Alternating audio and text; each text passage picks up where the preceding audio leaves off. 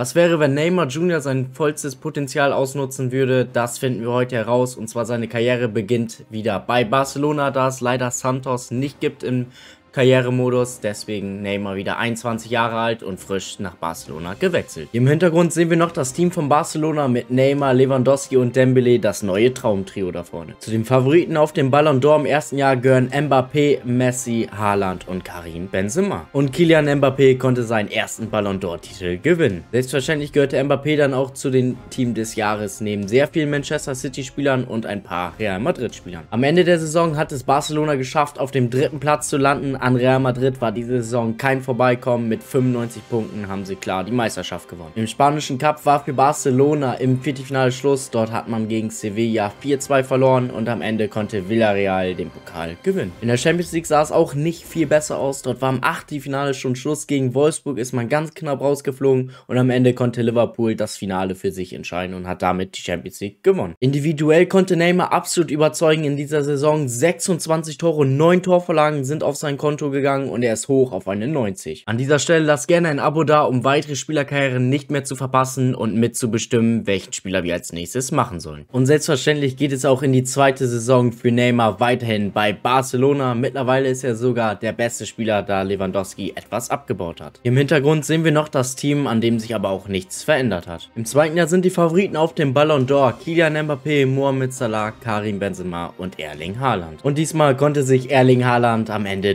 durchsetzen und seinen ersten Ballon d'Or-Titel gewinnen. Und hier im Hintergrund sehen wir dann noch das Team des Jahres und zwar auch mit vielen Manchester City-Spielern aber auch natürlich ein paar Real Madrid und Liverpool Spielern sowie natürlich Kylian Mbappé wieder. Und Neymar konnte seinen ersten Titel mit Barcelona zusammen gewinnen und zwar haben sie mit einem 2 Punkte Vorsprung vor Real Madrid die La Liga gewonnen. Im Pokal musste man sich aber leider dann wieder Real Madrid geschlagen geben und zwar ist man direkt rausgeflogen, auch wenn nur knapp im Elfmeterschießen und am Ende konnte Villarreal den spanischen Pokal ein weiteres Mal verteidigen. In der Champions League lief es absolut überhaupt nicht für Barcelona und zwar ist man dort nur dritter Platz geworden und damit in die Europa League abgerutscht gerutscht. Man musste nämlich sich gegen Dortmund und Olympique Marseille geschlagen geben und am Ende konnte Bayern München die Champions League gewinnen. Währenddessen hat es Barcelona auch nur geschafft, bis ins Achtelfinale zu kommen, da man dort gegen Olympique Marseille den kürzeren gezogen hat. Individuell konnte Neymar aber ein weiteres Mal absolut überzeugen, diesmal sogar 27 Tore und 12 Torflagen hat er erzielt. Er ist hoch auf eine 93 und bereit für die dritte Saison.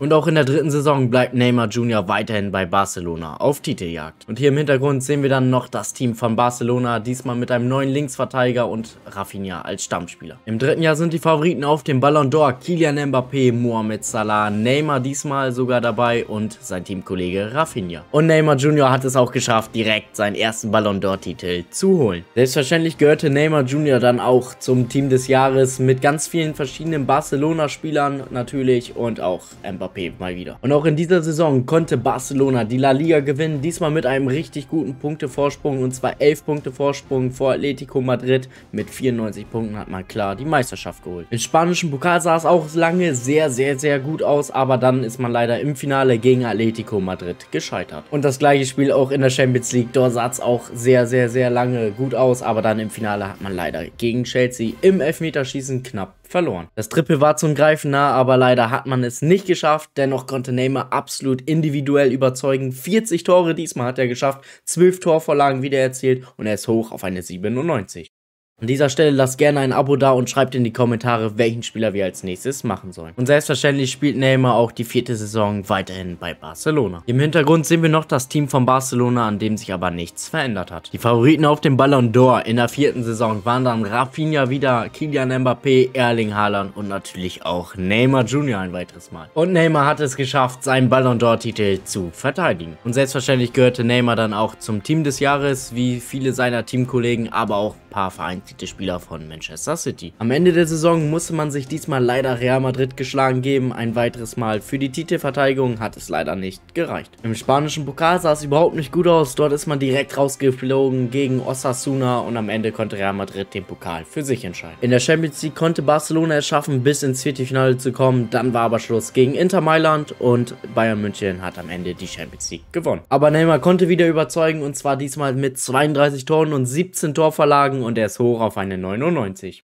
Für die fünfte Saison brauchte Neymar eine neue Herausforderung, deswegen ist er zusammen mit seinem Teamkollegen Rafinha zu AC Mailand gewechselt. Im Hintergrund sehen wir dann noch das Team von AC Mailand, welches sich auch sehr gut sehen lässt und auf jeden Fall Titelkandidat ist. Favoriten auf dem Ballon d'Or im fünften Jahr sind Kylian Mbappé, Erling Haaland, David Nunez und Vinicius Junior. Und gewinnen konnte Kylian Mbappé. Im Hintergrund sehen wir dann noch das Team des Jahres, diesmal mit richtig vielen verschiedenen Vereinen wie Real Madrid, Liverpool, Neapel, Bayern und so weiter. Am Ende der Saison hat es für AC Mailand leider nur für den dritten Platz gereicht in der Serie A. Und auch schon im Pokal war für Mailand im Viertelfinale Schluss. Dort ist man leider gegen Lazio Rom im Elfmeterschießen knapp ausgeschieden und am Ende konnte Juventus Turin den Pokal gewinnen. In der Champions League sah es dafür besser aus. Dort ist man bis ins Halbfinale gekommen. Dort war aber dann Schluss gegen Manchester City, die dann auch im Anschluss das Finale für sich entscheiden konnten. Ja, und woran es lag ist, und zwar Neymar hatte sich leider verletzt innerhalb der Saison und deshalb nur sechs Einsätze gehabt gehabt.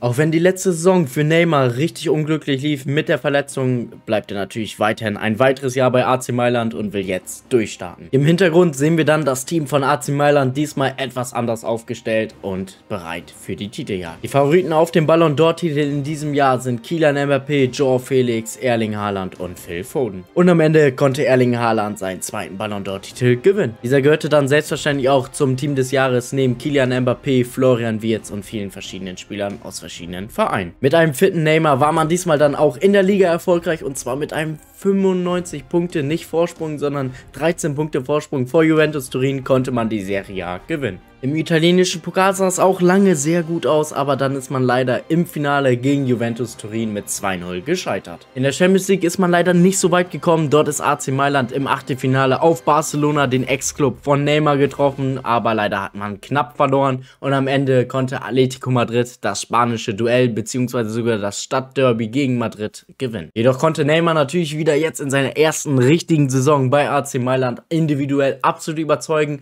1,30 Tore, 12 Torverlagen gehen auf sein Konto und er ist natürlich weiterhin auf einer 99 hoch.